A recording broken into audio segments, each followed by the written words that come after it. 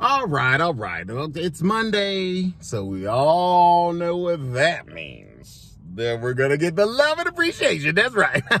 a whole new week to give and receive love. Now, since we are going to start this week off right, let's go ahead and add some beauty in that every single day. Yeah, I know, I know. Every day you gotta look at something beautiful, so hard. so go ahead and do that. And, you know, it might be, we know, we don't know if going to be a long week, short week, how it's to feel. So let's go ahead and add a little extra love and appreciation for ourselves. I mean, we're doing all the work. and like always, you better let this love and peace be with you.